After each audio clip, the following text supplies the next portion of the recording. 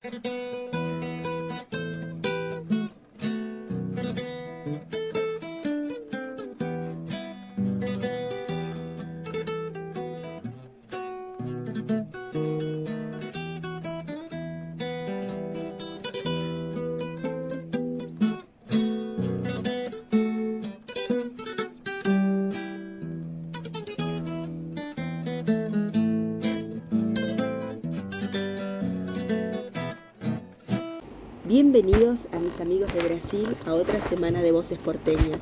Esta semana la Argentina cumplió 30 años en democracia, el gobierno lo festejó con un acto multitudinario que únicamente eh, participó su partido político. No fue convocado ningún miembro de la oposición y tampoco el expresidente. Eh, hubiera sido genial festejar los 30 años de la vuelta de la democracia con todos los partidos políticos que nos representan a todos los millones de argentinos.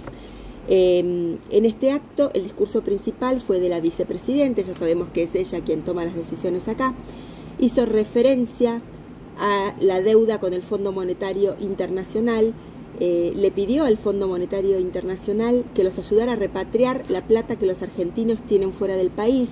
Sería genial que también Santa Cruz repatriara los fondos que ni ella ni su marido quiso, quisieron en su momento aclarar dónde los tenían depositados. También hizo referencia a los más de 40 mil millones de dólares que el gobierno de Macri tomó de deuda externa.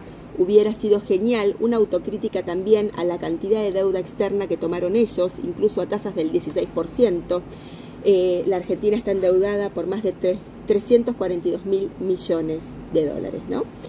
Eh, lamentablemente, eh, ella y su hijo no ven, eh, no pueden hacer una autocrítica. Su hijo habló como algo heroico, como un acto heroico, haberle pagado al Fondo de París los más de 9 mil millones de dólares que se le han pagado.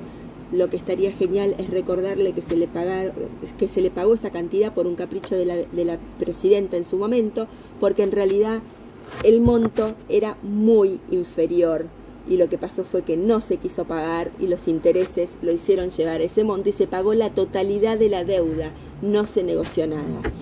Em, bueno, eh, también tuvimos un problema en, Miramar, en la provincia de Buenos Aires, estamos teniendo un tema con la seguridad.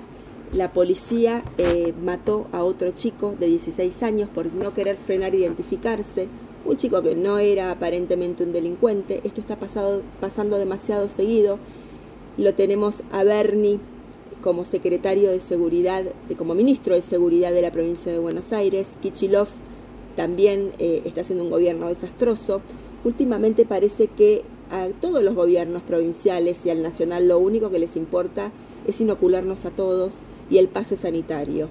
Pero todos los demás temas de gobierno están en quinto plano y han decidido no prestarles atención. No le prestan atención a la seguridad, no le prestan atención a la economía, únicamente les importa el pase sanitario, restringir nuestras libertades individuales y seguir liderando un gobierno totalitario.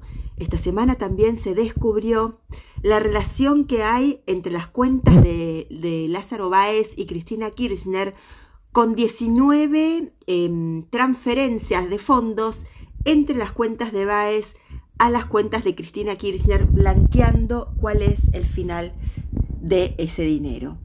Eh, espero que tengan un excelente fin de semana y bueno, que hayan tenido, porque en realidad ya pasó. Les mando un beso a todos desde Buenos Aires, Argentina, para mis amigos de Brasil. Bye bye.